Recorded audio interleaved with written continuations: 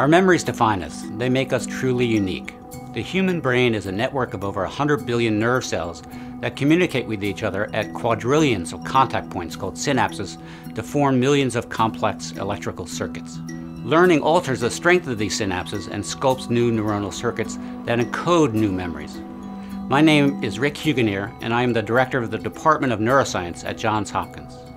My lab has identified biochemical changes within synapses that are critical for memory formation. These studies on the molecular basis of memory formation will help lead to new therapies for disorders such as Alzheimer's disease, age-related dementia, post-traumatic stress disorder, as well as schizophrenia and autism.